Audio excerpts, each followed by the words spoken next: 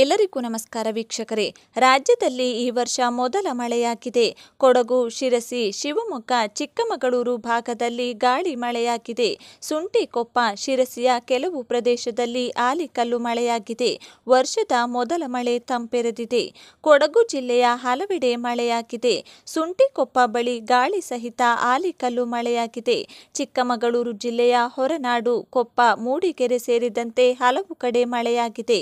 ರಾಜ್ಯದಲ್ಲಿ ಮುಂಗಾರು ಪೂರ್ವ ಮಳೆ ಲಕ್ಷಣಗಳು ಕಾಣುತ್ತಿದ್ದು, ಮುಂದಿನ ನಲವತ್ತೆಂಟು ಗಂಟೆಗಳ ಕಾಲ ಕರಾವಳಿ, ಉತ್ತರ ಮತ್ತು ದಕ್ಷಿಣ ಒಳನಾಡು ಜಿಲ್ಲೆಗಳಲ್ಲಿ ಸಾಧಾರಣ ಮಳೆಯಾಗುವ ಸಾಧ್ಯತೆ ಇದೆ ಎಂದು ಹವಾಮಾನ ಇಲಾಖೆ ಮುನ್ಸೂಚನೆ ನೀಡಿದೆ. ಬಿಸಿಲ ಪ್ರಮಾಣ ಹೆಚ್ಚಾಗಿ ಸಮುದ್ರದ ಮೇಲ್ಮೈ ಸುಳಿಗಾಳಿ ಕಾಣಿಸಿಕೊಂಡಿರುವ ಹಿನ್ನೆಲೆಯಲ್ಲಿ ರಾಜ್ಯದ ವಿವಿಧೆಡೆ ಗಾಳಿ ಹಾಗೂ ಹಗುರದಿಂದ ಕೂಡಿದ ಸಾಧಾರಣ ಮಳೆಯಾಗುವ ಸಾಧ್ಯತೆ ಇದೆ.